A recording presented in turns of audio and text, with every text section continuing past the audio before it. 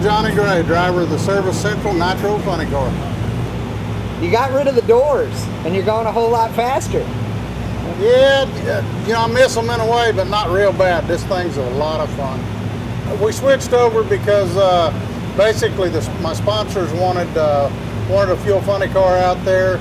Asked me if uh, if I'd get out of the pro stock car and drive a fuel funny car. I used to drive them, so I told him, you know, if you twist just a little bit, I, I can do that. So now that old dad's out of the door car, does Shane want to get in one of these as well?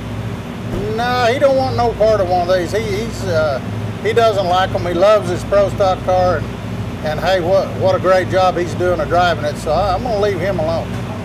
But you're still the one building all the power over there, aren't you?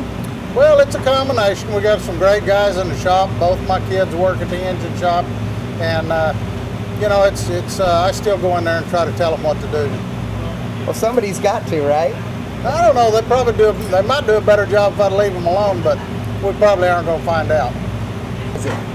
I think with the team that uh, Service Central and Valvoline have put together for us, along with Lee Beard, Rob Wendland, and the guys here on the team, uh, we should run real hard. Look out, we're gonna we're gonna spoil some people's days.